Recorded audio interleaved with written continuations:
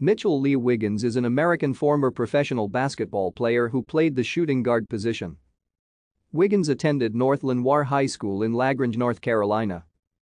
He played collegiately at Truett McConnell College, Clemson University and Florida State University.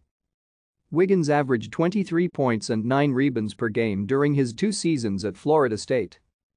Wiggins was selected by the Indiana Pacers as the 23rd overall pick of the 1983 NBA draft. He never played for the Pacers, spending his rookie year playing in all 82 regular season games while averaging 12 points, 4 rebounds and 2 assists per game for the Chicago Bulls.